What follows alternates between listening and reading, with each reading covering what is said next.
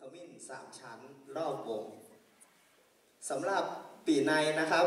จะเป็นการบรรเลงทางครูปี๊บคงลายทองนะครับ ส่วนระนาดเอกทางของอาจารย์พิรสิทธิ์บัวทั่งหรือครูพัฒน์บัวทั่งที่เรารู้จักกันนะครับ ของวงใหญ่ทางของครูสอนวงคล้องครับ ส่วนของวงเล็ก ทางโดยพันจอากาศเอก อนุชาพึ่งเจริญครับ ทางระนาดทุ้ม ทางเดี่ยวของครูสิรินักดนตรี ขอเชิญทุกท่านรับชมรับฟังครับ